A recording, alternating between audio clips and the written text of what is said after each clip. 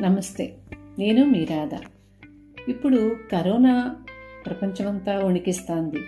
కరోనాలో ఎలా జాగ్రత్తగా ఉండాలి అనేది ఒక చిన్న కథ ద్వారా తెలుసుకుందాం. ఈ కథను నేను సేకరించాను ఒక చోటు నుంచి.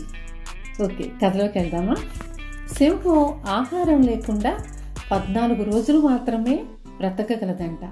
అది ఒక జింకల వనం. అందులో జింక జాతులు ఆనందంగా నిర్భయంగా జీవిస్తున్నాయి. ఒకసారి ఆ వనం నుంచి ఒక జింక దారి తప్పి వేరే అడవిలోకి వెళ్ళింది. అక్కడ దానికి ఎన్నో కొత్త కొత్త జంతువులు తోడేళ్ళను పులులను సింహాలను నక్కలను తొలిసారిగా అక్కడే చూసింది. అక్కడ ఒక కొమ్ముల జింక ఎదురే ఓ జింక సోదరా ఈ అడవిలో నిన్నెప్పుడు చూడలేదే అంది. అవును మాది జింకల వనం అంది.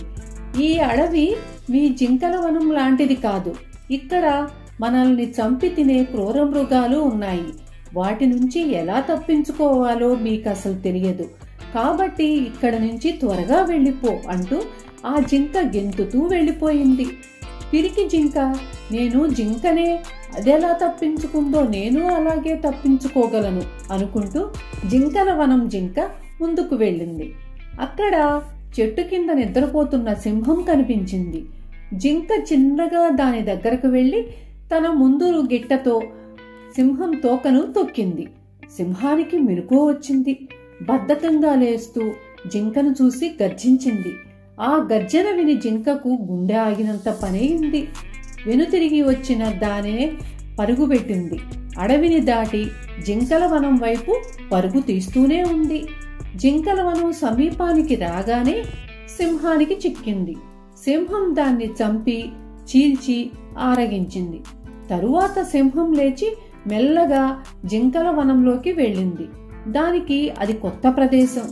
అక్కడ దానికి గుంపులు గుంపులుగా జింకలు కనిపించాయి. సింహం ఆనందానికి అంతులేదు.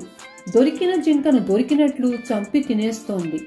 కొత్తగా ముందుకొచ్చిన ఈ మృత్యువును చూసి జింకలన్నీ భయపడిపోయాయి చెల్లా చెదురయ్యాయి పొదల్లో దాక్కున్నాయి బిక్కు బిక్కుమంటూ బతుకుతున్నాయి. పొరపాటున ఏ జింకైనా బయటకొస్తే చాలు సింహం దాన్ని పడగొట్టేస్తోంది. అయితే ఆ జింకల్లో తెలివైన కుర్ర జింక ఒకటి ఉంది దాని పేరు జ్ఞాననేత్ర. జింకల పెద్దలు జ్ఞాననేత్ర దగ్గరకు వచ్చి దీనికి పరిష్కార మార్గం ఏమిటి? అని అడిగాయి. జింక పెద్దలారా నేను అదే ఆలోచిస్తున్నాను. ఈ క్రూర జంతువును సింహం అని అంటారు. దీని పంజా నుంచి తప్పించుకునే చాకచక్యం మనకు లేదు. ఎటు ఆలోచించినా ఎంత యోచించినా ఒకటే ఒక్క దారి కనిపిస్తోంది.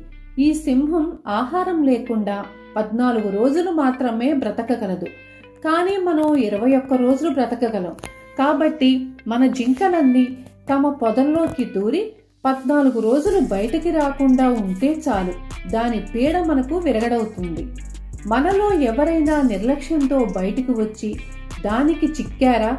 దాని జీవితకాలం మరొక పద్నాలుగు రోజులు పెంచినట్లే. ఈ చెట్టు కింద చచ్చిపడి ఉన్న సింహాన్ని చూశాయి. ఆనందంతో అరిచాయి గెంతాయి. జింకలు కేరింతలతో వనమంతా పులకరించిపోయింది.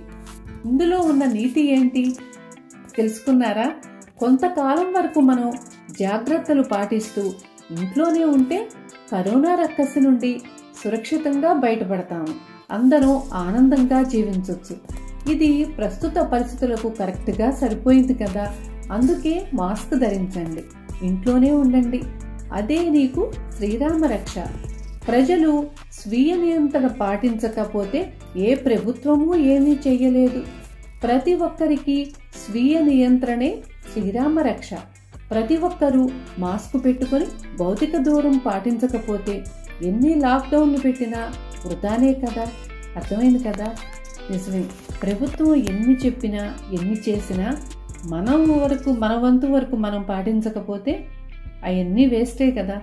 ఎంతమంది చనిపోతున్నారు ఇప్పుడు? ఆలోచించండి. అవసరం లేనప్పుడు వృధాగా బయటికి రాకూడదు. వచ్చిన మన పని మన అవసరానికి వచ్చినా మన పని మనం చూసుకుని వెళ్ళిపోవాలి.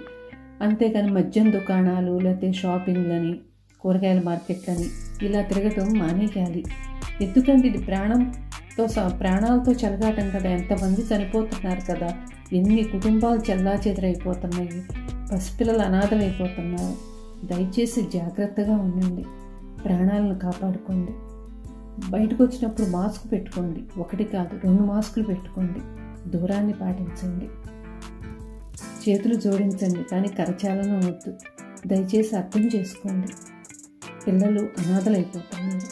పెద్దవాళ్ళు చనిపోతే పిల్లలు చనిపోతే పెద్దవాళ్ళు నరకం అనుభవిస్తున్నారు.